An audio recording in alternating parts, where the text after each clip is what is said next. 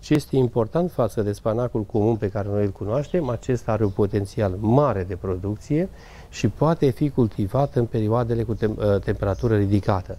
Așa cum știți, spanacul tradițional poate fi cultivat cu succes primăvara și toamna, preferă temperaturile scăzute și nu preferă, nu se dezvoltă bine la temperaturi ridicate, pe câtă vreme spanacul urcător, spanacul de malabar, poate fi cultivat la temperaturi ridicată și nu suportă temperaturile scăzute. Practic putem vorbi de o specie opusă spanacului eh, pe care noi îl cunoaștem.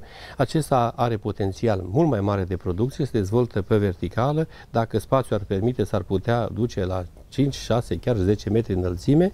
Frunzele sunt mari, suculente, bogate în vitamine, săruri minerale, calciu, uh, caroten și chiar pigmenți antocianici. Vedeți această culoare uh, al starilor, demonstrează că uh, vorbim de pigmenți antocianici, deci substanțe flavonoide, substanțe antioxidante în, care mențin sănătatea, celula sănătoasă celula, împotriva cancerului. Deci vorbim de o plantă valoroasă, cu gust, cu aromă, potențial mare de producție,